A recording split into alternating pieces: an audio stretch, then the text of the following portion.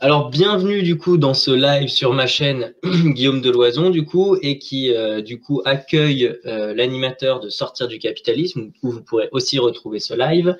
Donc pour euh, le livre La nature est un champ de bataille qui va aborder du coup le, sujet de, l'écologie pour approfondir aussi ce sujet. On peut se, se, référer à la vidéo de Sortir du capitalisme sur l'écologie sociale avec Murray Bookchin. Et donc avant de commencer, je vais vous lire du coup la, quatrième de couverture euh, du, bouquin. C'est aussi simple. Dans cet ouvrage, le sociologue Razmig Kesheyan bat en brèche l'idée reçue selon laquelle l'environnement dépasse les clivages politiques et fait l'objet d'un consensus. En revenant sur l'histoire de la justice environnementale américaine, il démontre comment la nature et l'environnement n'échappent pas aux rapports sociaux. Au début des années 1980, les tenants de ce mouvement, issus des courants environnementalistes et des droits civiques, dénoncent le racisme environnemental à l'égard des minorités noires et ethniques qui subissent de manière discriminatoire et disproportionnée les nuisances et dégradations. Les inégalités territoriales et sociales recouvrent en partie une inégale distribution des nuisances et bienfaits environnementaux, soumises elles-mêmes à une logique de marché. Objet cristallisant les conflits sociaux, cette nature est aussi un champ de bataille au sens propre. L'auteur décline ainsi dans un deuxième temps les mécanismes envisagés pour se prémunir des conséquences de la crise écologique la financiarisation des risques climatiques et une militarisation croissante pour gérer les nouvelles menaces en événements climatiques et pour s'assurer un accès aux ressources. En somme, loin de mettre à mal les problèmes qui l'ont engendré, productivisme et logique de marché, cette crise environnementale nourrirait la stratégie néolibérale capable d'en atténuer les effets sur les taux de profit. Si la thèse peut paraître réductrice aux yeux de certains, ce livre, politisant la question, invite à penser une histoire élargie des conflits sociaux alors par contre, c'était pas la quatrième de couverture, hein, c'est le, un, résumé, enfin une note, euh, une note de lecture euh, sur kern.info. Euh, voilà. Et du coup, on appréciera aussi le, titre de, de, ce livre qui aurait aussi bien pu s'appeler La nature est un sport de combat, mais, mais vu que ce, titre commence à être vraiment éculé, on a quelque chose d'un peu mieux quand même. La nature est un champ de bataille. Donc bienvenue, bienvenue à Armand du coup. Oui, euh, bah, bah, merci à toi de du coup d'avoir proposé de, de faire euh, voilà un live, euh, une émission sur sur ce bouquin de Razmig Kesheyan, La nature est un champ de bataille, essai d'écologie politique, qui du coup voilà est, un petit peu en, en trois parties avec une partie sur le racisme environnemental, une partie sur la financiarisation de la nature et une partie sur les guerres vertes. Euh, moi, je vais parler euh, principalement de la première partie parce que la deuxième partie est quand même euh, plus connue, notamment à travers le documentaire Nature, le nouvel Eldorado de la finance. voilà, et, le livre de Christophe Bonneuil et de Sandrine Fedel sur le sujet.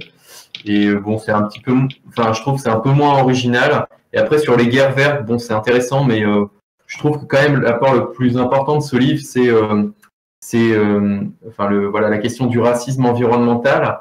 Et même au-delà puisqu'en fait lui euh, euh, ce qu'il dit c'est que ça s'applique pas uniquement au racisme. Il dit dans son introduction la racisme le, pardon la nature n'échappe pas aux rapports de force sociaux. Elle est la plus politique des entités. Et donc finalement il appelle à croiser la question de la nature avec la race, la classe et le genre.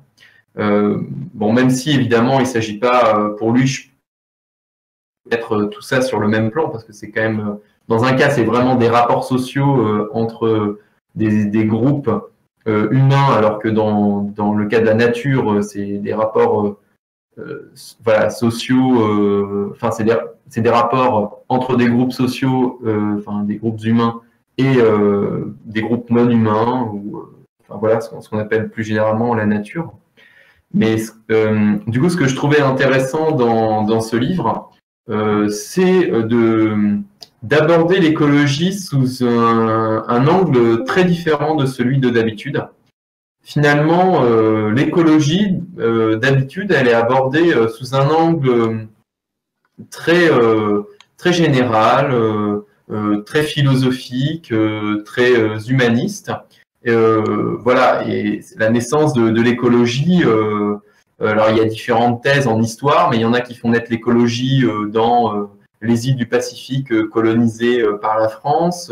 Il y en a qui font naître ça aux États-Unis dans la deuxième moitié du 19e siècle, avec un mouvement globalement de, bourgeois américains qui veulent préserver une nature fantasmée qu'on appelle la, la, wilderness, qui est une espèce de nature sauvage qui, euh, comme le montre euh, Köchoyan et d'autres historiens, en, en réalité euh, enfin, est en fait une création, une espèce de mythe, parce que par exemple les grands parcs nationaux comme Yellowstone aux États-Unis sont en réalité des parcs qui n'étaient pas du tout vierges de toute trace humaine à la base, mais en réalité pour constituer ces parcs, on a expulsé les populations indigènes, amérindiennes en l'occurrence, qui existaient là. Et, et en fait, euh, euh, et puis, bon, plus, plus généralement, euh, pour, pour parler d'aujourd'hui, de l'écologie mainstream aujourd'hui, l'écologie mainstream, elle est, elle est incarnée par des organisations que critique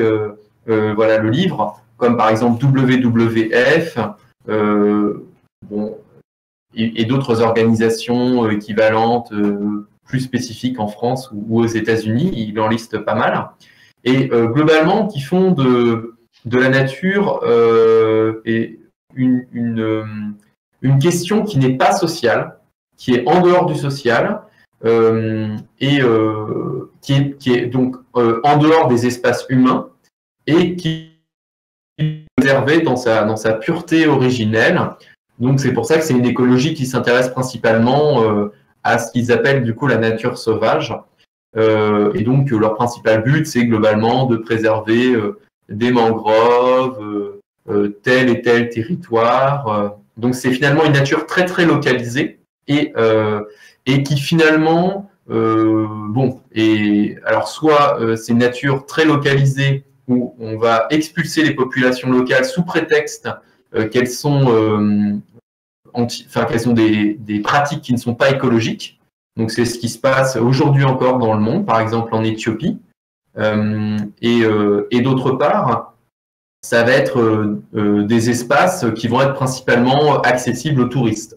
Donc ça va être une espèce de nature comme loisir bourgeois, et c'est d'ailleurs comme américain, par une expulsion des populations locales sous prétexte de nature sauvage et d'écologie, et, et pour en faire un lieu de, plaisance bourgeois euh, accessible à une très faible partie de la population. Et du coup, pour, finir, euh, là, ce que ce que, euh, là, lui, euh, c'est pas cette nature-là qui l'intéresse. C'est pas la préservation de cette nature-là qui l'intéresse. Lui, il va s'intéresser à comment est-ce que enfin, il va pas s'intéresser à la nature sauvage, mais plutôt euh, aux, produits des activités industrielles, euh, notamment dans les milieux urbains, et comment est-ce que, euh, du coup, la pollution, enfin, toutes les, toutes les activités industrielles vont impacter les groupes sociaux les plus dominés dans la société? Donc, lui, il parle beaucoup de la dimension voilà, de, la race et de la classe. Donc, la race, évidemment, hein, sens de, d'une construction sociale qui existe réellement et qui, euh, voilà, qui organise réellement la société euh, de manière hiérarchique. Et donc, par exemple, aux États-Unis, euh, le mouvement de la, justice environnementale a, visibilisé le fait que les activités les plus polluantes touchaient d'abord les populations racisées et notamment afro, afrodescendantes, afro-américaines. Ça marche aussi pour la classe, plus généralement, puisque globalement, les activités industrielles les plus polluantes vont toucher euh, principalement euh, les classes populaires. Euh, voilà, il suffit de regarder Paris, par exemple. À Paris, les incinérateurs qui polluent énormément et qui bousillent la santé des gens qui ne vivent pas très loin, en général, ils sont situés dans les banlieues et dans les banlieues voilà, où il y a des banlieues des classes populaires et où il y a une majorité de personnes racisées. Ils ne sont pas situés dans le 78 ou dans le 16e arrondissement, étrangement. Et euh, on pourrait même rajouter, même si lui il n'en parle pas, une dimension de genre, dans le sens où on sait que, euh, eh bien, euh, dans notre société patriarcale et sexiste, les personnes les femmes ont tendance à être plus pauvres que les hommes pour tout un tas de raisons historiques et structurelles. Et du coup, les femmes vont se retrouver en grand nombre dans ces espaces urbains où se concentre la pollution industrielle. Bon, moi je voulais rebondir notamment en termes d'exemples, parce que du coup j'ai fait quelques recherches aussi avant, et en termes d'exemples qui sont assez récurrents, bah, effectivement tu as parlé de la Seine-Saint-Denis, euh, et qui a été le deuxième département le plus touché par la surmortalité suite euh, aux conséquences du dérèglement climatique par rapport euh, aux canicules de 2003. Donc on voit du coup là une, vraie inégalité euh, empiriquement constatable. Et sinon aussi, ce qui, revient assez souvent euh, dans l'argumentaire du, racisme environnemental, c'est euh, la ville de Flint, qui est du coup devenue un, vrai symbole de, ce racisme environnemental. Étant donné que, alors c'est à Flint, il y a un énorme scandale de l'eau en fait qui a été contaminé par du plomb et et à la Maison Blanche, en fait, ça, bah, forcément, euh, en fait, la question euh... scandale de l'eau contaminée aurait été, euh, aurait eu lieu même, ou est-ce qu'il y aurait eu des, est-ce que des, des, choses auraient été faites pour pas que ça arrive, quoi. Euh, il y a aussi un rapport, comment il s'appelle ce rapport par Clean Air Task Force. Donc je sais pas exactement ce que ça vaut, mais on le trouve assez vite euh, dès qu'on fait des recherches, et qui justement euh, compile euh, plusieurs, plusieurs données comme ça sur les, les inégalités environnementales qu'on peut retrouver. Donc sur les impacts sur la santé, des choses comme ça, sur le, la pollution environnementale et autres joyeusetés de ce genre. donc, rapport, oui, je l'ai dit, de Clean Air Task Force du NAACP oui, ça, c'est intéressant que ce soit la NAACP, puisque historiquement, c'est euh, la, la, voilà, la, National Association for the Advancement of People of Color. Donc, du coup, la, c'est voilà, l'association nationale euh, représentative, entre guillemets, euh, euh voilà, des, des personnes afro-américaines. Et et justement, ce qui est intéressant dans le mouvement de justice environnementale par rapport à, disons, au mouvement écologiste, c'est que c'est pas du tout les mêmes personnes qui le portent. C'est que le mouvement écologiste, alors, bon, évidemment, il n'y a, y a, pas un courant écologiste. Hein, il ne s'agit pas de, mettre tout le monde dans le même panier. Mais disons que le mouvement écologiste le plus visible et le plus mainstream euh, à la WWF, c'est un mouvement globalement très bourgeois. Euh, euh, voilà, de pays occidentaux, etc. À la limite, si on va vers des, organisations environnementales un petit peu plus radicales, bon, entre guillemets, hein, comme Greenpeace, là déjà, il y a une composition qui est un petit peu moins bourgeoise, mais globalement, ça reste quand même classe moyenne. et ce qui est intéressant dans les mouvements de justice environnementale, c'est que c'est vraiment la partie la plus dominée de la population qui euh, va euh, se battre, non pas euh, comme souvent, enfin comme pas souvent, mais parfois dans les luttes parfois dans les discours écologistes au moins, pas tellement dans les luttes, mais dans les discours écologistes, il y a beaucoup une espèce de, vision voilà, du global.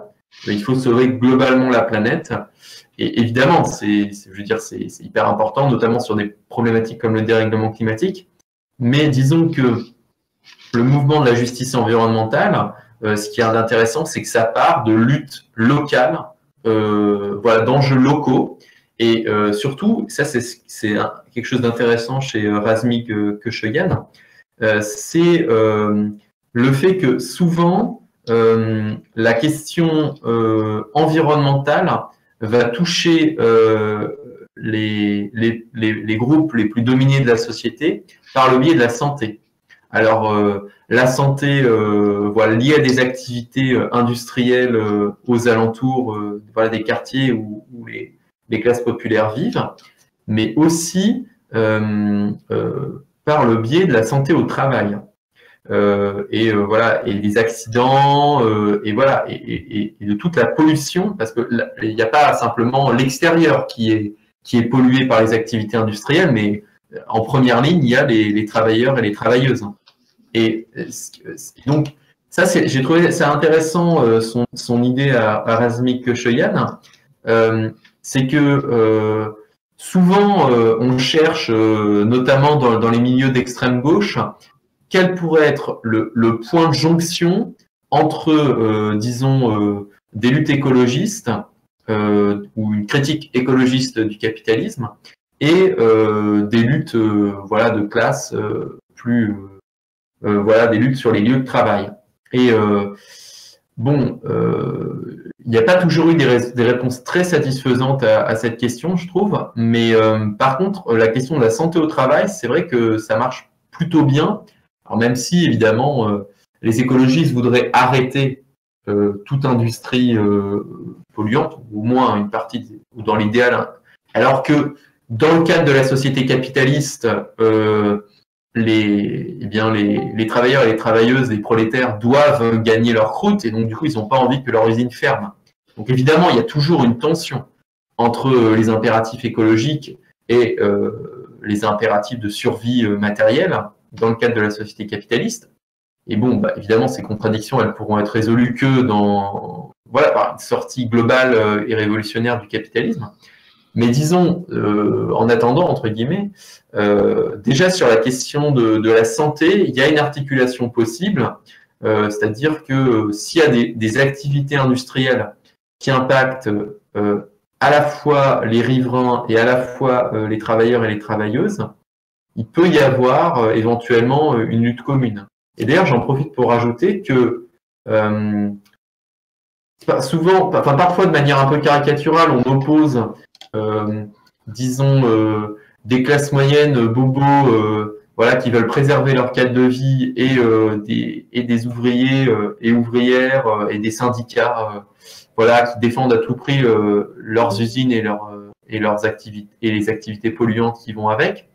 Mais euh, et ça c'est justement un des apports de cet ouvrage, il ne faut pas oublier que souvent, les, personnes dont le cadre de vie va être dégradé par les activités industrielles, ça va pas être les classes moyennes, ça va être euh, euh, voilà les, les prolos souvent racisés qui sont dans les banlieues américaines. Enfin, aux États-Unis c'est un peu différent, mais disons dans les périphéries entre guillemets de, de l'espace social, dans les zones les plus relégués, euh, où il y a le moins d'infrastructures, d'accès aux soins, etc. Euh, et, d'ailleurs, c'est finalement assez logique puisque euh, le choix d'implantation des activités industrielles va se faire en fonction du coût du terrain. Et évidemment, bah, c'est dans les endroits où, où bah, les, plus, relégués socialement que le terrain va être moins cher. Et réciproquement, c'est parce que il, y a déjà des activités industrielles, que du coup, les prix euh, des loyers notamment sont plus bas qu'ailleurs, et du coup que les, populations euh, les plus défavorisées vont devoir, euh, bah avoir beaucoup d'autres choix que de s'installer à côté de ces, activités industrielles. Donc voilà, enfin, finalement, il y a quand même beaucoup de cas où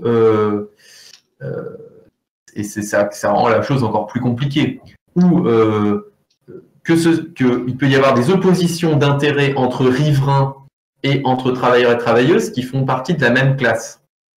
Donc, ce qui évidemment euh, rend les choses encore plus compliquées. Euh, notamment si il y a des objectifs, notamment si l'activité de l'usine en tant que telle est, est, vraiment nuisible. S'il y a moyen de faire pression ensemble pour que l'usine n'ait plus d'impact ou un impact minime, disons, euh, sur euh, les travailleurs les travailleuses d'une part et les riverains et riveraines d'autre part, là, il peut y avoir une, lutte commune plus, plus facile. Mais, mais voilà, c'est vrai que euh, le livre de, de est, vachement intéressant pour essayer de croiser les questions environnementales et, sociales mais euh, bon, malgré tout, euh, au cas par cas, c'est pas toujours, euh, pas toujours évident. Il donne l'exemple par exemple de l'usine AZF, donc qui a explosé à Toulouse en 2001, donc qui a, tué plusieurs dizaines de personnes, des riverains. Alors donc lui, il explique notamment dans voilà dans le livre que eh bien, les personnes qui étaient aux alentours de l'usine AZF, eh bien, c'était des personnes, voilà, majoritairement des classes populaires et des personnes racisées. parce que c'est voilà l'industrie chimique s'implante dans des endroits où ça coûte moins cher et les gens s'implantent dans les endroits où il y a des industries chimiques parce que ça coûte moins cher et aussi parce qu'il y a du travail. Donc voilà, c'est des domaines qui, sont, qui appartiennent aux, classes les plus euh, voilà, dominées dans la société.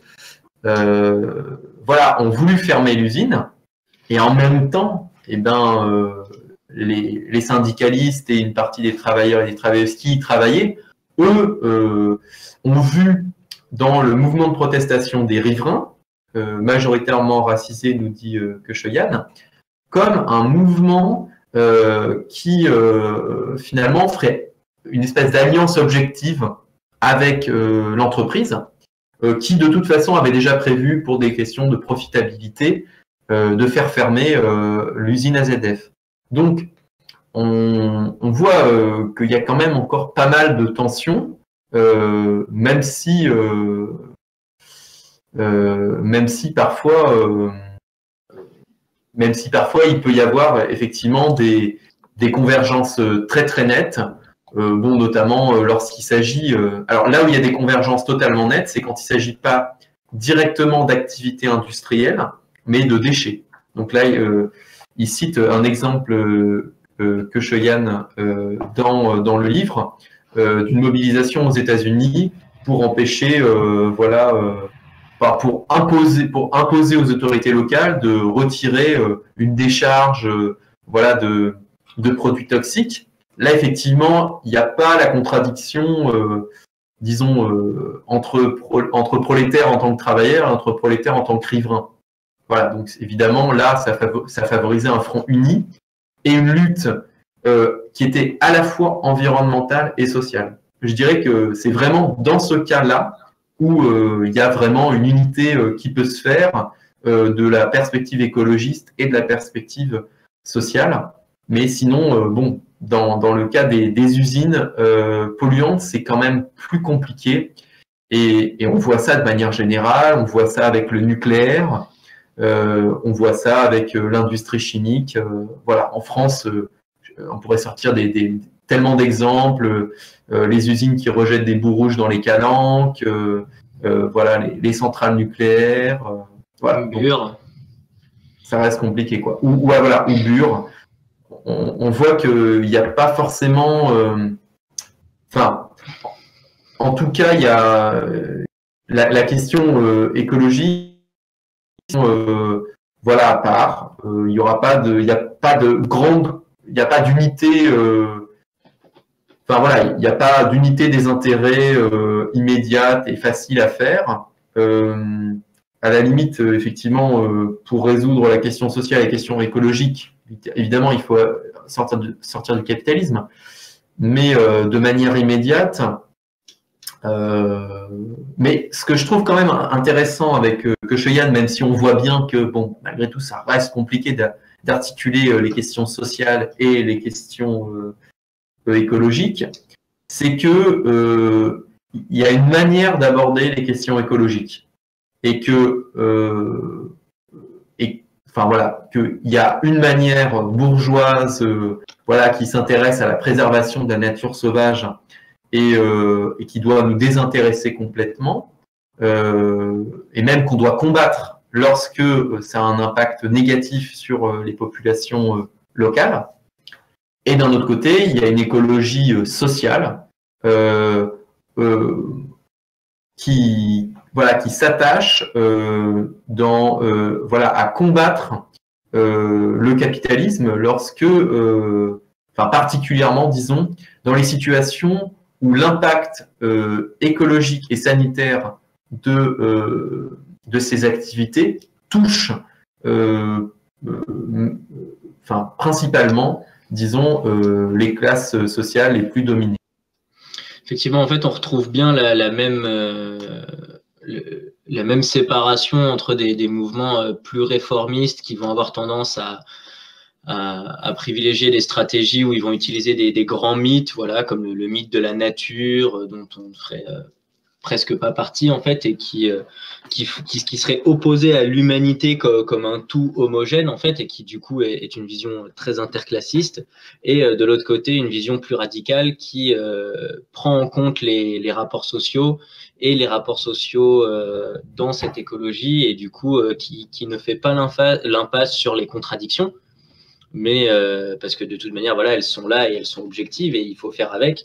Et, euh, et du coup, c'est à ces contradictions qu'il faut s'attaquer pour créer le commun et pas se contenter de simplement euh, proclamer l'unité avec un mythe populiste ou, ou nationaliste ou interclassiste. Après, on peut mettre plein d'adjectifs à cet endroit ça a coupé deux secondes. Donc, je disais les, les, articles de Nicolas Cazot qui débunk des, des opérations de, greenwashing, pareil, vu que tu parlais de WWF ou de, Greenpeace.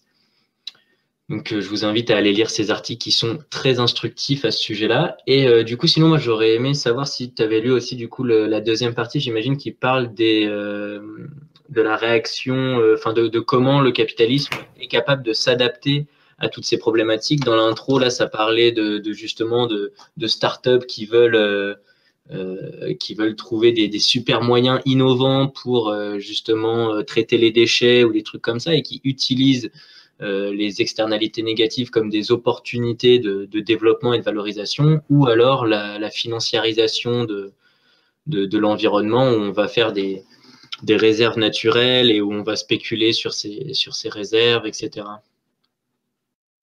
Oui, alors oui, effectivement, je, je l'ai lu. Euh, alors, peut-être pour, faire euh, un, pont avec euh, ce que je voulais finir de dire sur, la première partie du livre, c'est qu'à un moment, euh, Razmi parle de d'éco-nationalisme.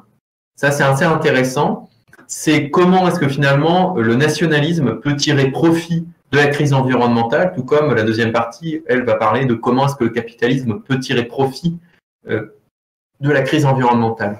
Donc, bon, pour le cas du nationalisme, euh, ça va être, euh, voilà, euh, c'est dans la nature qu'il va y avoir une, qu'on va, que, voilà, les, nationalistes vont trouver une source d'identité nationale. Donc, aux États-Unis, c'est particulièrement visible puisque la nature sauvage est censée être vraiment le, le, bah, finalement qui incarne l'âme euh, voilà, de l'Amérique, etc., euh, etc. Et, finalement, euh, ce, mythe de la nature, ce, voilà, cet appel à la nature sauvage, cette invocation de la nature sauvage comme fondateur de l'identité américaine, c'est un mythe qui va de pair finalement, avec le mythe euh, du colonialisme euh, européen, disons, en Amérique du Nord, à partir du XVIIe siècle, c'est-à-dire l'idée d'une terra nullius, d'une terre sans peuple, où il n'y a personne. Et finalement, cette, invocation perpétuelle de la nature sauvage dans le discours nationaliste aux États-Unis c'est une forme de nier de nouveau l'existence euh, préalable euh, des populations euh, qu'on appelait amérindiennes. Et, voilà, donc c'est vraiment voilà, c'est la, nature sauvage aux États-Unis, c'est à la fois un mythe pour l'identité nationale et c'est un mythe qui est donc non seulement nationaliste mais aussi raciste, colonialiste et même si je mettrais des guillemets à ce terme, un peu négationniste, dans le sens où il nie l'existence euh, des, des, Amérindiens, et d'ailleurs même matériellement, c'est-à-dire que pour constituer les grands parcs nationaux, euh, eh bien, il y a eu une expulsion euh, des populations amérindiennes. D'ailleurs, j'en profite pour rajouter, puisque que Cheyenne euh, l'indique, euh, que les populations amérindiennes par par les activités euh, polluantes, notamment parce que euh, euh, l'armée américaine qui ne, qui, qui ne veut pas impacter négativement avec ses essais nucléaires et ses essais d'armes, peut-être pas chimiques, mais enfin voilà, qui ne veut pas impacter, disons, les populations blanches, notamment de classe moyenne et de classe bourgeoise, par ses activités, évidemment, c'est beaucoup rabattu en fait sur des, sur des terrains militaires qui sont situés assez souvent près des, réserves indiennes. Donc, ce qui fait que les Indiens, après avoir été colonisés, massacrés, déportés, expropriés et enfin enfermés dans des réserves, se retrouvent en plus avec euh, voilà, euh, des retombées extrêmement négatives pour leur santé et pour leur environnement euh, à cause de l'armée américaine. et j'arrive sur la deuxième forme d'éco-nationalisme qu'il étudie, que Cheyenne, qui est celui de l'Inde. En Inde, il y a également voilà une espèce de, voilà de mythe qui est mobilisé autour de la nature indienne comme socle de l'identité nationale. Euh, même si euh, je pense que c'est moins euh, moins fondamental qu'aux États-Unis parce qu'il y a une dimension aussi religieuse dans le nationalisme hindou qui est, très très forte. La nature est quand même moins, moins centrale. Mais du coup, pour revenir sur, la, sur, ta question de départ, qui était celui de la, financiarisation de la nature, euh, globalement, ce qu'on peut en dire euh, très rapidement, c'est que euh, euh, voilà, il y, a une tentative euh, pour une partie du capital de, de faire des bénéfices euh, en créant un marché voilà, qui se consiste en gros à assurer des espèces naturelles et des espaces naturels.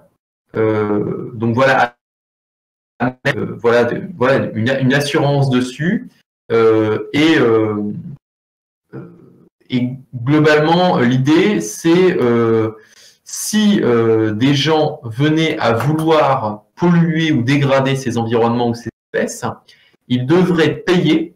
et donc, bon, alors pour prendre un exemple du, film Nature, le nouvel héros de la finance, il y a des banques d'espèces. Donc, il y a une espèce, voilà, qui est quantifiée en temps d'action qui représente globalement le coût de sa préservation.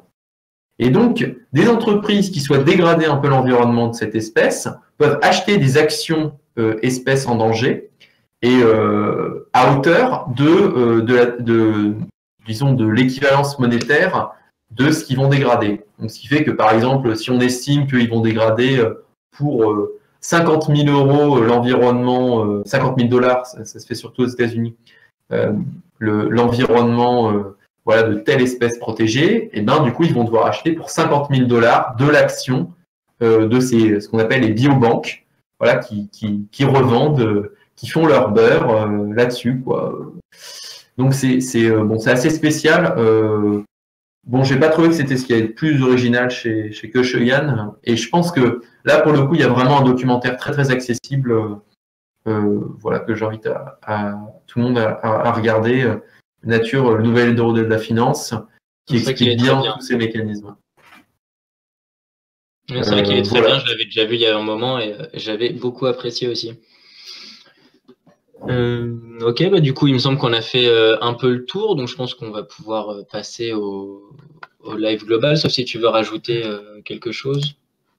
Euh, non, non, moi ça, ça, me va très bien. Si on, si on passe au, live global, je pense qu'on a fait un, un, très bon tour de, de, la première partie. On a un petit peu, enfin, rapidement de la, de la deuxième partie. Et simplement pour, dire, la troisième partie, globalement, euh, explique comment est-ce que euh, les armées du monde entier prennent en compte désormais les questions environnementales, soit pour des raisons stratégiques, parce que évidemment le, le le dérèglement climatique, ça va avoir, un impact euh, euh, militaire.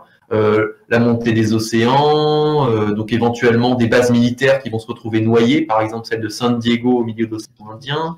Ça va avoir des impacts aussi parce que l'Arctique va fondre, donc éventuellement, voilà, la marine russe pourra plus facilement attaquer le continent euh, voilà, nord-américain. Donc euh, voilà, il y, a un vrai intérêt des armées à l'heure actuelle pour les questions environnementales. Et euh, fait même l'hypothèse que l'armée pourrait, euh, disons, renforcer son pouvoir, son poids au, sein, disons, de, de, la classe dominante dans, dans, dans les pays capitalistes, dans le sens où qui dit multiplication des catastrophes naturelles avec le dérèglement climatique, dit multiplication du recours voilà, à des forces spéciales qui sont censées savoir gérer ces situations et dit multiplication du recours à l'armée. Et c'est pour ça qu'on a vu, par exemple, l'armée intervenir à Katrina. Et d'ailleurs, que Shoyan en parle de Katrina, mais il dit bien que c'est euh, à la fois, euh, enfin, c'est une manifestation à la fois de la militarisation de l'écologie et en, donc l'objet du troisième chapitre, et en même temps euh, une, démonstration que les, catastrophes écologiques, notamment le dérèglement climatique, impactent en priorité les, les populations voilà, prolétaires, prolétaires et notamment racisées, puisque une, une les, les, les, personnes qui ont été les plus victimes de Katrina sont euh, des personnes afrodescendantes et des personnes âgées. Les personnes âgées, on s'en doute pourquoi, parce qu'elles ont plus de difficultés à fuir, et euh, les personnes euh, afrodescendantes parce qu'elles étaient sur des zones, elles étaient logées dans des zones inondables qui n'étaient pas protégées. voilà. Et d'ailleurs, pour voir que un niveau beaucoup plus global, le dérèglement climatique touchera le plus durement les populations des pays euh, non occidentaux et surtout euh, des classes populaires, par exemple au Bangladesh où, l'augmentation du niveau des eaux euh, risque de devenir très préoccupant. effectivement, du coup, ça, pose des questions qui, qui sont d'importance et qui aussi montrent aussi bah, la, nécessité de la lutte parce que euh, face à tout ce constat, on pourrait se dire que euh, la crise écologique ne pourrait être qu'une crise comme une autre dans le capitalisme. Bon, personnellement, je pense que vu l'ampleur de la crise, euh, ça va être quand même difficile de maintenir les infrastructures capitalistes, mais du coup, c'est quand même vraiment une question qui se pose. Est-ce que le capitalisme va être capable de tout simplement gérer cette crise comme il en a géré tant avant? Et, et la crise écologique, du coup, ne sonnerait peut-être pas forcément son glas ce qui est d'autant plus effrayant. Oui, bah, juste rapidement pour répondre à ça, euh, euh, est-ce que le capitalisme va réussir à gérer la, crise écologique euh, bah, Elle ne la résoudra pas, ça c'est très clair. par contre, elle va probablement, au moins dans un premier temps, réussir à en gérer les conséquences de manière extrêmement répressive. Donc Katrina a donné un, petit aperçu, c'est-à-dire en gros en envoyant l'armée pour euh, rétablir l'ordre euh, dans les zones euh, voilà, où l'ordre capitaliste aurait été ébranlé par la catastrophe climatique, donc notamment pour empêcher les pillages, les tentatives de solidarité auto-organisée qui ne se feraient pas dans le respect de la loi, etc., etc. Ok. Bon, bah, j'allume la permission collective, normalement, du coup, de, pouvoir parler. Est-ce que ça fonctionne? Mais du coup, est-ce que vous avez déjà des questions? Moi, non. Bah, éventuellement, est-ce que vous aviez, euh, est-ce que vous aviez un peu euh, suivi les, travaux? Je ne sais pas s'il avait fait, un bouquin là-dessus, mais en tout cas, il avait fait des articles, euh, Razmik sur la question justement de la, gestion des, biens, euh, pas nécessairement les biens communs, mais euh, la, question des besoins, la théorie des besoins, etc.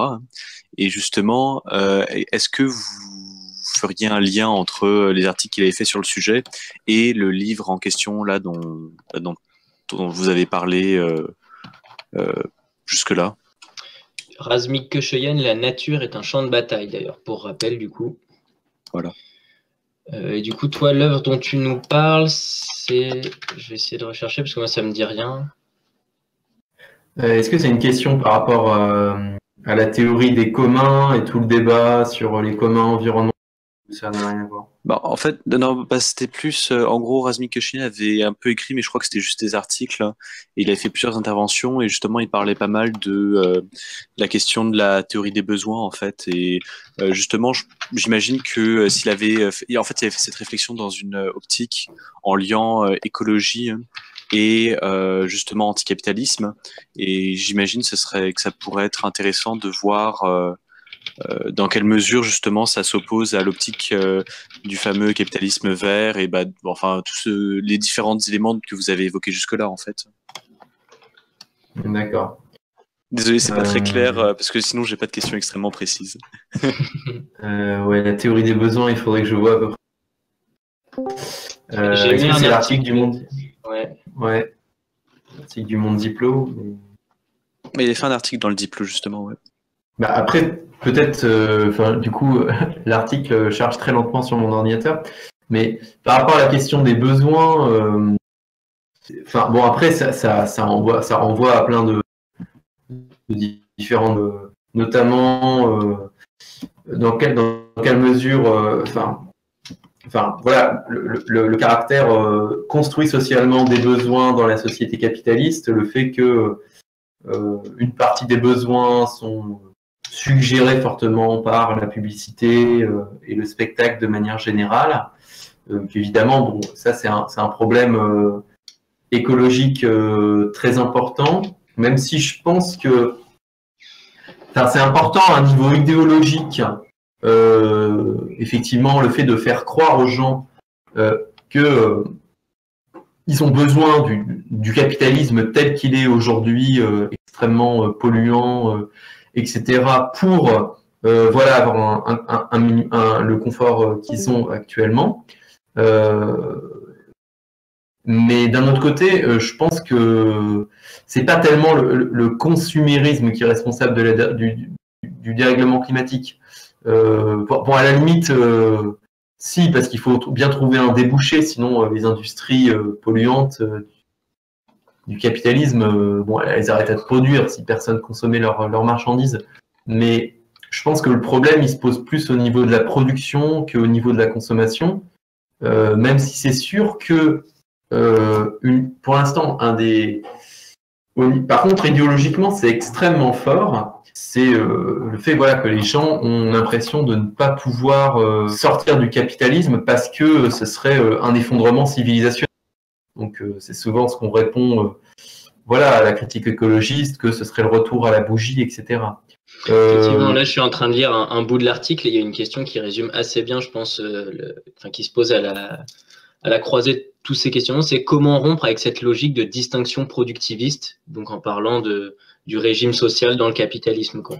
Et effectivement, du coup, s'attaquer aux besoins, c'est aussi s'attaquer euh, à la construction sociale des besoins et euh, à, la, logique productiviste euh, du capitalisme. Ouais, tout à fait. Et, c'est vrai que, enfin, par rapport à ça, euh, moi, quelque chose que je trouvais d'intéressant, euh, après, je vais répondre à un commentaire, disons, de zadiste distribuidor dissémias.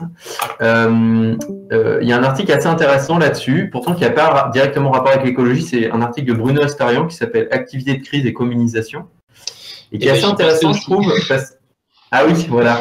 Parce que je- ce que je trouve intéressant, c'est qu'il décale un peu la question écologique, c'est-à-dire plutôt que de se demander quelles industries on va garder dans, euh, enfin, si euh, on sort, euh, s'il y a une sortie du capitalisme global, euh, et voilà, qu'on arrive vers une société euh, de type euh, communiste libertaire, donc fondée notamment sur, sur les besoins, les fameux besoins, euh, de chacun selon ses moyens, à chacun selon ses besoins.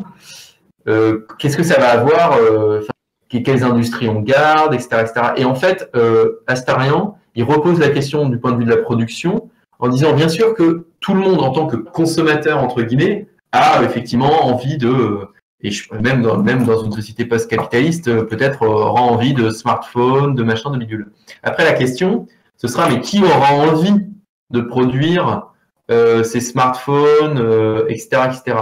Et en fait, euh, ça va pas tellement être, à mon avis, euh, au niveau de la demande, si, si je réutilise ces concepts capitalistes pour une société post-capitaliste, c'est pas tellement que les besoins des gens, enfin que les gens vont se dire ah bah oui, nous on est pour la sobriété.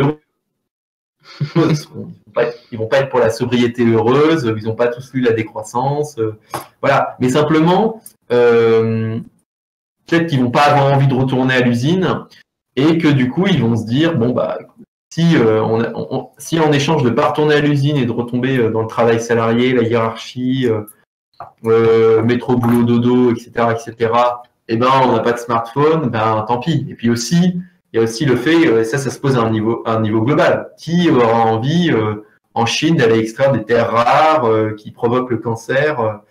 voilà, qui, sont nécessaires à la fabrication des smartphones, qui, au fin fond du Congo, aura envie d'aller dans des mines de coltan pour faire des, téléphones portables.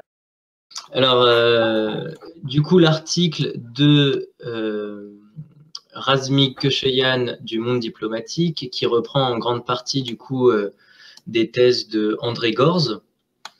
donc, l'article commence, du coup, sur les besoins. Donc, c'est toi qui nous en parlais, Lapin Billy. Euh, et du coup, euh, cet article, il, parle, il, part du manifeste Négawatt, euh, l'un des ouvrages d'écologie politique les plus stimulants parus récemment, rédigé par les spécialistes de l'énergie. Donc, grosso modo, la question c'est qu'est-ce qu'un besoin? Comment définir un besoin essentiel Qu'est-ce qui le distingue d'un besoin accessoire ou inacceptable Et ensuite, qui décide quel, quel mécanisme ou institution conféreront une légitimité au choix de satisfaire tel besoin plutôt que tel qui me chiffonne particulièrement, c'est que du coup, après, dans tout l'article, euh, il y, a, toute une, prose qui est directement inspirée de Heidegger. Enfin, ça transpire de ouf. Genre, il y, a les, y a le terme d'authenticité qui est mis à, toutes les sauces, genre de qu'est-ce qu'un besoin authentique qui serait du coup dissocié d'un besoin inauthentique. Donc, euh, on, voit bien ce que ça, signifie. Alors le besoin authentique, ça serait boire, euh, euh, le sommeil, tout ça, alors que par exemple un smartphone, ça serait un besoin inauthentique. Sauf que du coup, ça c'est complètement faire abstraction de, des dynamiques sociales de la consommation. En l'occurrence, aujourd'hui, c'est une nécessité pour beaucoup dans le travail d'avoir un smartphone. Et, euh, et c'est pas juste un, un, besoin comme ça, genre une frivolité ou un, un désir capricieux. Euh, oui, c'est bien de le signaler. Voilà, et euh, je reprends les, deux choses que j'ai citées. C'est constitutif de notre être, les besoins authentiques ne peuvent trouver leur satisfaction dans le régime économique actuel. Et le consumérisme ensevelit les besoins authentiques sous des besoins factices. Alors là, en fait, on retrouve parfaitement la, prose de, Heidegger, de Heidegger avec l'être et l'étant. Du coup, l'être qui serait euh, l'essence des choses, genre comme le genre le, vrai homme viril, etc., qui serait euh, l'être euh, homme, tandis que euh, l'étang, ce serait que les, différents hommes qui ne sont pas vraiment tous des hommes, qui sont même pour certains des tafioles, etc. Hein, c'est presque comme ça que le dit Heidegger. Et du coup, qui, qui préfère ah, sanctifier des besoins plus authentiques à d'autres, tout en occultant parfaitement les déterminants sociaux euh, de la consommation. Et du coup, c'est d'ailleurs, c'est pourquoi le, on retrouve vraiment bien ça dans cette phrase, le, côté réactionnaire qui va avec Heidegger. C'est euh, constitutif de notre être. Les besoins authentiques ne peuvent trouver leur satisfaction dans le régime économique actuel. Donc en fait, ça paraît révolutionnaire, ça paraît être, euh, oui, il faut sortir du capitalisme pour euh, pouvoir euh, libérer nos, euh, nos, potentialités, etc. Sauf que dans la philosophie de Heidegger, c'est pas du tout comme ça que c'est entendu. Euh, c'est entendu, il faut se sortir du capitalisme, ou en tout cas ce qui s'appelle le capitalisme, qui est bien souvent en fait une critique tronquée du capitalisme et qui, est qui parle seulement du néolibéralisme. Genre on ne pourrait pas être un vrai homme viril dans le capitalisme. Bah voilà, là tout de suite on voit parfaitement le parallèle qu'on peut faire avec tous les FAF qui font des, critiques du capitalisme euh, ou, du féminisme euh, et qui se plaignent après qu'il y a des meufs qui se peignent les cheveux en rose ou en bleu et ça ils supportent pas quoi genre et ça c'est la faute du capitalisme selon eux. Donc voilà, je trouve que du coup, dans, toute cette, euh, cette, critique des besoins, il y a une critique de la consommation qui est quand même assez tendanciellement réactionnaire. Mais bon, c'est pas la première fois en même temps qu'on retrouve des thèses qui, enfin voilà, dans l'écologie qui font revenir du Heidegger. Et ça, c'est d'ailleurs dans la décroissance, il y en a aussi. Et ça, c'est toujours très problématique. Du coup, je trouve que c'est pas plus mal d'avoir pu euh, en toucher un mot euh, là. Euh, par rapport à justement à Heidegger, on avait déjà fait avec Benoît Boibinel une, une, émission sur, sur Heidegger, sur l'antisémitisme des philosophes allemands globalement, sur le capitalisme, et accompagné de plusieurs notes de lecture. Et là, on a récemment enregistré une émission qui, je ne sais pas quand est-ce qu'elle sera en ligne. Donc, une critique aussi même de fameux ouvrages qui étaient censés être de la période pré-nazie d'Heidegger, où euh, bon, Bohéminier essaie de montrer euh, voilà, en quoi est-ce que Heidegger, euh, voilà, c'est une, voilà, une critique tronquée, nationaliste, ethnocentrique, antisémite, de, romantique. De, la modernité capitaliste. Et oui, et, romantique également. Et d'ailleurs, oui, effectivement, le romantisme, c'est un bon point d'accroche parce que c'est un petit peu souvent du romantisme que vient euh, finalement euh, l'écologie réactionnaire, c'est-à-dire une espèce d'idéalisation de la nature euh, qui serait censée révéler le vrai des rapports sociaux. Et, finalement, ça c'est intéressant justement ce, ce, retournement. Et c'est pour ça que, on a parlé beaucoup avec euh, du coup du croisement voilà, des questions sociales et des questions environnementales. Euh, mais je pense qu'il faut bien voir de laquelle manière on le fait. C'est-à-dire que globalement, ce qui caractérise l'écologie réactionnaire, c'est le fait de considérer que euh, la nature euh, est tout, le social n'est rien, et que le social, c'est l'artificiel. Et on trouve un peu cette distinction quand même chez, chez les anti-industriels aussi. Cette opposition entre le naturel et, et, et l'artificiel qu'on retrouve notamment chez, chez Jacques Ellul, qui moi me semble vraiment très problématique, dans le sens où euh, bien sûr que tous les rapports sociaux sont des euh, tous les rapports sociaux sont des sont des artefacts. Je veux dire, on les trouve pas dans la nature, euh, et, tant mieux d'ailleurs. Du coup, cette référence constante à la nature pour, disons, orienter les rapports sociaux et juger les rapports sociaux, ça me paraît extrêmement dangereux. Donc pour moi, une écologie sociale, c'est une écologie qui pense la résolution des problèmes écologiques par une transformation sociale, et, donc, et pas tellement par une transformation euh, du rapport à la nature, même si évidemment, euh, voilà, ça passe aussi par un rapport moins prédateur à la nature, mais disons qu'il y a avant tout une question de changement de société. Et d'autre part, c'est une écologie euh, sociale dans le sens où elle considère que la sphère des rapports sociaux est, doit être conçue comme totalement autonome vis-à-vis vis-à-vis de ce qu'on appelle la nature. C'est-à-dire qu'il ne faut pas euh, commencer à euh, euh, réfléchir au rapport de genre ou d'autres rapports à l'aune de la référence à la nature. Parce que si, et, malheureusement, c'est ce qui est fait beaucoup dans l'écologie. C'est-à-dire qu'on va commencer par dire il faut arrêter la surconsommation, le rapport prédateur à la nature. Moi, je suis là. Et après, ça va être non, mais en fait, voilà, euh, la contraception, l'avortement, c'est pas très naturel. Il faut allaiter jusqu'à 3 ans, tout le monde, même si tu n'en as pas envie. Euh, il faut des couches lavables, même si tu n'as pas le temps et que as déjà, tu, fais déjà la double journée, avec un discours écologiste qui peut, euh, voilà, qui peut être finalement réactionnaire, qui peut être un moteur finalement d'un retour à l'ordre patriarcal. Je pense que malheureusement aujourd'hui, l'écologie, comme elle peut être mobilisée de manière nationaliste euh, ou racistes. Il suffit de voir les identitaires en France qui se sont beaucoup emparés de la question d'écologie, parce qu'évidemment, la nature, le terroir, ça peut être aussi une, manière de définir euh, l'identité.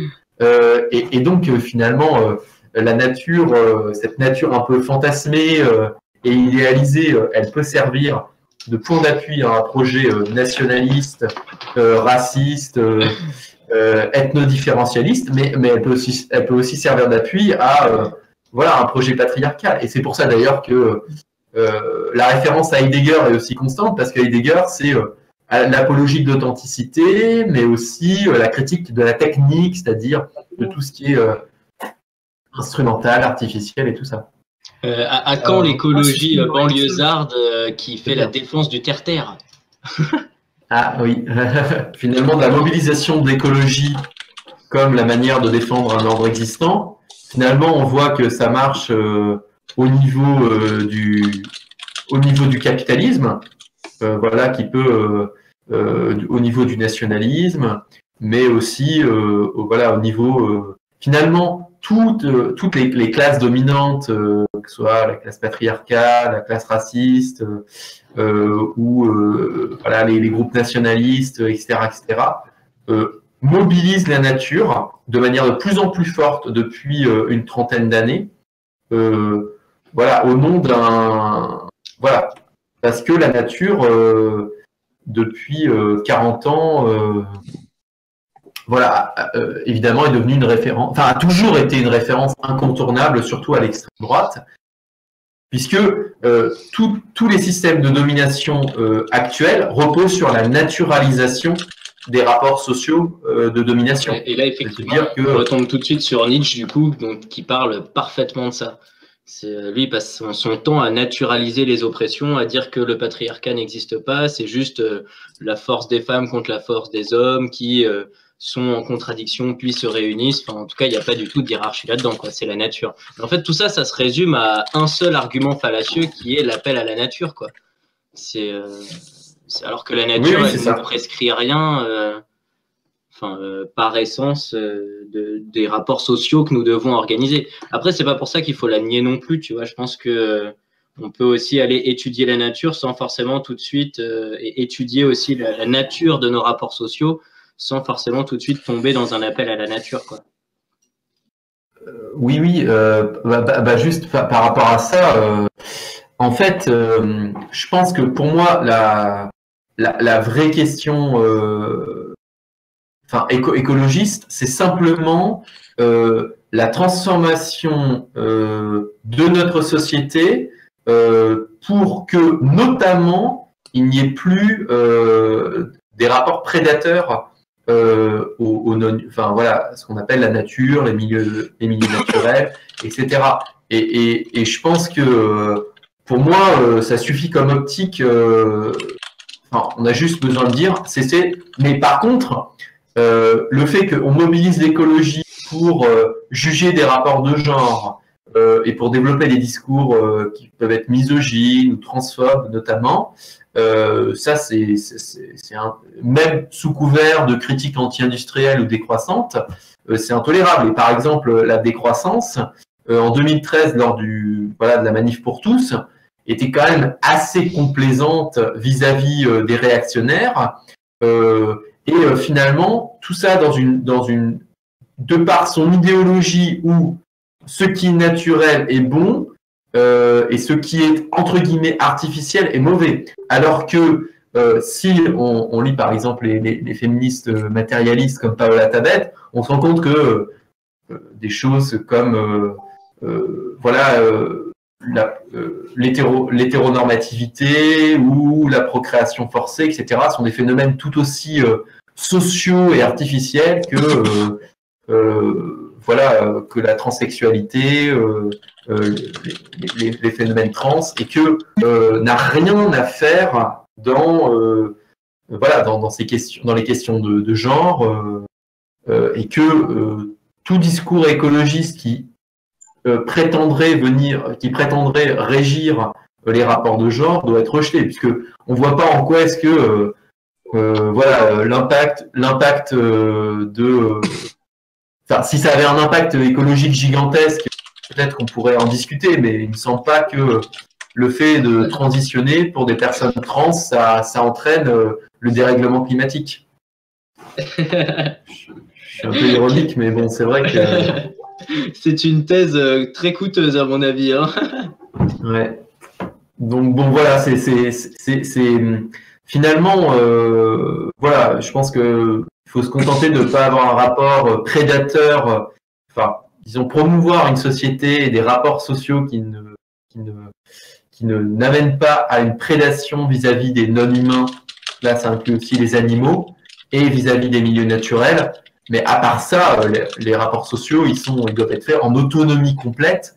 Euh, voilà, des, des, questions de nature ou de pas nature, quoi. Et donc, et, c'est-à-dire, c'est quelque chose que souligne Alain Beer dans euh, L'actualité d'un archaïsme, qui c'est un peu son ouvrage sur l'extrême droite. Il dit qu'une des composantes fondamentales de l'extrême droite, c'est le fait de, de, le fait de, de recourir à l'idée de nature pour tout justifier. Et ça, évidemment, il n'y a pas que l'extrême droite qui le fait, mais l'extrême droite en est évidemment la quintessence puisqu'elle justifie tout par la nature. Euh, alors peut-être, euh, je vais peut-être répondre à la question sur, euh, sur euh, l'effondrement. Euh, bon, alors ça nous éloigne un petit peu de, de mais bon, aussi, quoique, il parle un petit peu de, la place de l'armée par rapport à ça. bah, moi, ce que j'aurais tendance à dire, c'est que moi, j'ai du mal à concevoir un grand effondrement, une espèce de Big Bang où à un moment tout va s'effondrer. Peut-être qu'il y aura un moment une crise très violente du capitalisme qui ouvrira la voie, euh, pourquoi pas aussi à une révolution mondiale. si, si, on reprend le, notamment les thèses de la communisation. Euh, mais par contre, je pense qu'à un niveau écologique, ça risque de se manifester plutôt euh, par euh, une multiplication des, des, événements météorologiques extrêmes de, de type euh, cyclone, euh, de type euh, typhon, etc., etc. Et donc, ça, risque d'être un processus assez long où il y aura des phases de crise très intenses et où malheureusement, ce qui risque de se passer, c'est que euh, en l'absence d'une révolution mondiale qui, à mon avis, serait pas tellement liée, mais plutôt, à mon avis, à une crise économique, en l'absence de révolution mondiale, donc, euh, euh, il y aura plutôt une multiplicité de petits effondrements euh, locaux liés à des événements météorologiques extrêmes, que là, soit où on laissera pourrir les gens, comme aujourd'hui c'est le cas quand il y a des guerres civiles en Afrique ou dans les périphéries effondrées qui, ne servent plus à rien au capital mondial, soit il y aura un rétablissement de l'ordre brutal comme à Katrina. après, euh, sur, euh, sur, sur la, dimension un peu plus processuelle de, de l'effondrement, entre guillemets, même si là, du coup, je ne sais pas si on devrait parler d'effondrement, parce que l'effondrement, ça donne vraiment l'idée d'une espèce de gouffre à un moment, enfin, peu importe. Sur le processus, bah oui, c'est sûr que ça va compliquer euh, énormément. Euh, enfin, pour prendre l'exemple du dérèglement climatique, ça va faire que les conditions de vie et de travail de la majorité des gens vont être de plus en plus pourries. Euh, mais euh, j'ai quand même tendance à, croire que euh, enfin, soit le capitalisme nous précipitera avec lui dans sa perte, mais c'est je sais pas comment dire ça, mais. Moi, je trouve qu'ils ont toujours tendance à sous-estimer le capitalisme et à le prendre comme une grosse machine euh, sans rapports sociaux, en fait, et qui, juste euh, techniquement, à un moment, arriverait à ses limites. Et du coup, ils sous-estiment parfaitement toute la violence que, que va être capable de déchaîner le capitalisme pour maintenir la hiérarchie dans un moment de crise, en fait. Il y a, une, approche très formelle de l'effondrement qui ne euh, prend pas en compte la, répression ou si elle la prend en compte, c'est simplement d'un point de vue euh, quantitatif euh, de oh regardez produire des bombes lacrymogènes écologiquement c'est coûteux etc. Enfin oui écologiquement c'est coûteux évidemment, mais socialement aussi quand on les prend sur la gueule et quand ça participe à la réaction, ça a d'autres effets que que purement écologique quoi. Et du coup je trouve il manque toujours un petit peu cette bah, cette donnée euh, sociale dans les raisonnements euh, de, des thèses de l'effondrement, dans, la collapsologie, qui, euh, qui, fait complètement abstraction de la lutte des classes et des rapports hiérarchiques là-dedans. D'ailleurs, très souvent, je trouve que ça mène à des conclusions du style Ah oui, c'est l'humanité dans sa globalité qui est, qui est responsable, c'est notre consommation collective qui est un. Clair. Mais je sais pas si tu avais fini, peut-être que c'est ton micro qui coupe, mais euh, oui, oui, non, mais c'est. Enfin, moi en tout cas, la, collapsologie, euh, on va dire que pour faire réfléchir les classes moyennes et leur foutre les jetons, c'est intéressant. Mais euh, sinon, moi je vois pas en quoi est-ce que. Enfin, à la limite, on peut dire que ça, ça veut dire qu'il y a une urgence le capitalisme. Mais à mon avis, il y a une urgence écologique à sortir du capitalisme, mais euh, à mon avis, le capitalisme peut continuer jusqu'à un niveau d'effondrement assez important. Et moi, la seule chose que j'ai à dire par rapport à ça, c'est que il faut pas attendre que le capitalisme s'effondre. Euh, comme par exemple, il y avait un petit peu cette idée que, voilà, avec la raréfaction des ressources, euh, le capitalisme va se casser la gueule. Moi, je ne crois pas du tout. Je pense que le capitalisme, il jusqu'au bout et que donc euh, il y a besoin d'un peu de volontarisme pour, euh, l'arrêter. Évidemment, il y aura des conditions qui permettront ce volontarisme. Là, manifestement, c'est pas trop le cas. Mais voilà, enfin, moi, ça, en tout cas, il n'y a rien à attendre de de l'effondrement progressif. Je, pense, c'est pas, la collapsologie, c'est pas nécessairement ça, mais enfin, en tout cas, il euh, n'y a rien de bon à attendre d'un effondrement progressif des, processus euh, euh, naturels. alors après, oui, il y a une limitation des ressources, mais les ressources où, moi, de ce que, de ce que j'avais lu, les ressources qui sont les plus, euh, les plus rares, il y en a encore pour 20 ans au rythme actuel de production. Et ça, il y a toujours la possibilité de substituabilité, ça a existé dans, dans, l'histoire. Évidemment, les coûts, de, les coûts d'exploitation euh, risquent de, de monter. Mais malheureusement, le capitalisme, euh, voilà, peut-être qu'à un moment, ça va être le serpent qui va se mordre la queue, mais par exemple, le gaz et le pétrole de schiste, maintenant, il y a des développements techniques qui font que c'est moins euh, inefficace énergétiquement. Enfin, je dis pas que, bien sûr, que le capitalisme va aussi se prendre dans la gueule la crise écologique et notamment une raréfaction des ressources, une augmentation des coûts d'exploitation. Mais à mon avis, c'est clairement pas ça qui va, qui va empêcher le, le plein déploiement de la crise écologique. Mais après, peut-être que je me trompe, mais on a vu par exemple sur tout le truc, sur le, pic pétrolier et tout, ça fait dix ans qu'on est censé se l'être pris dans la tronche. Euh, voilà. Après, oui, alors après, il y a la question des. Mais après, le problème sur les, enfin, sur la raréfaction des ressources, c'est que si le capitalisme à un moment se confronte à ça, il est, probable que du coup il donne un, voilà, qui, recourt massivement au recyclage. Enfin, malheureusement, on peut, on peut envisager toutes, toutes, toutes, euh, toutes sortes de choses, euh, la substitution, le recyclage. Après, je dis pas que, enfin, que ça va pas arriver, que ne va pas y avoir effectivement une raréfaction des ressources, mais en tout cas, moi, je pense qu'il faut, on peut pas en attendre trop. Euh...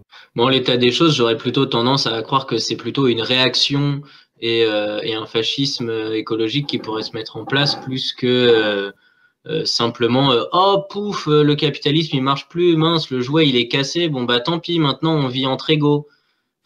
oui, oui, il n'y aura pas de conscience humaniste de ah, on peut plus faire autrement changeons de société. Non, mais après, je, je, suis d'accord avec le, scepticisme de zadiste distribuidor d'Issémias. Euh, bien sûr qu'il y a des limites.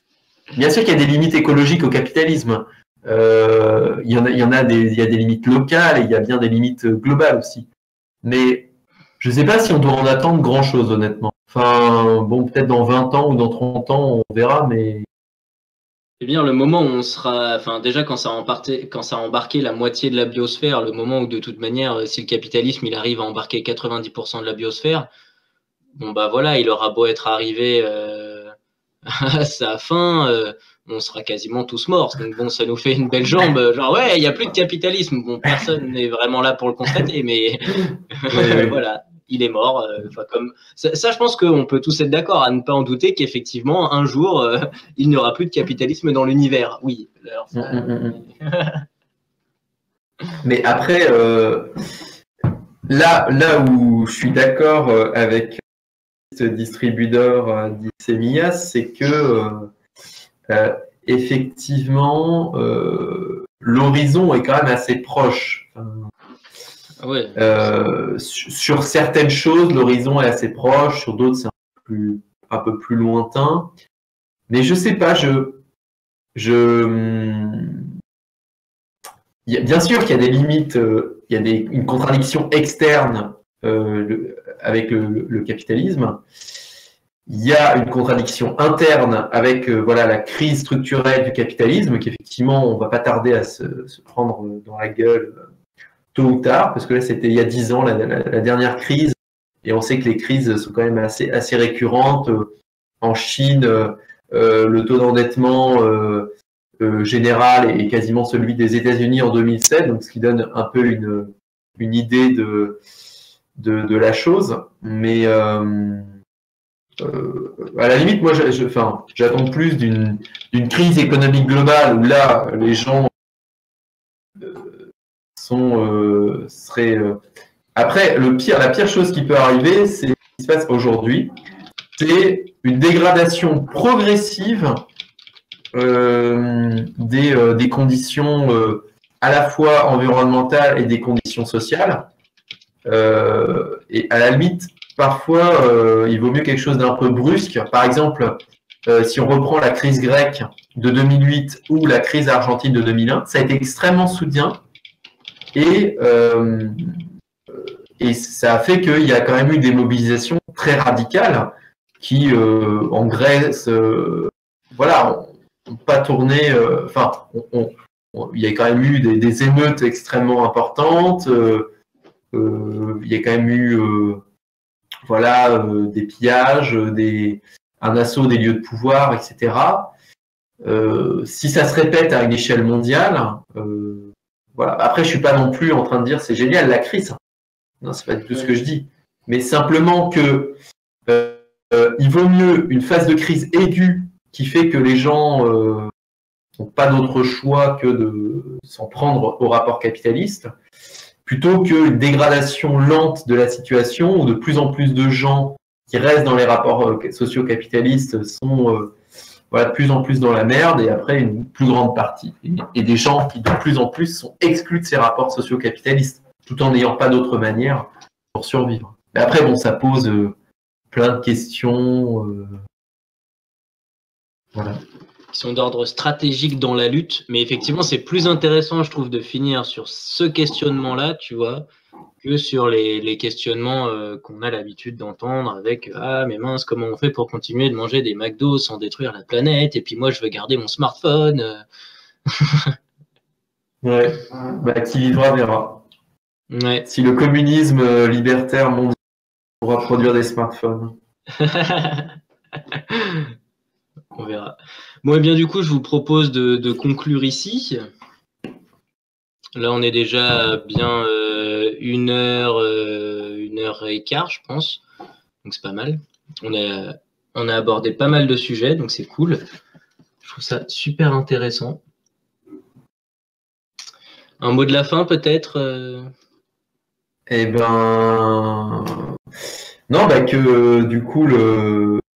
effectivement, la nature est un champ de bataille et que et que voilà, il faut, euh, une écologie euh, euh, politique, anticapitaliste, antiraciste, féministe, etc., qui s'attaque aux problèmes écologiques par la racine, c'est-à-dire en s'attaquant au capitalisme, et non pas en en faisant un mot d'ordre ou bourgeois, ou nationaliste, ou identitaire, ou patriarcal. Voilà, ça me paraît être une bonne conclusion.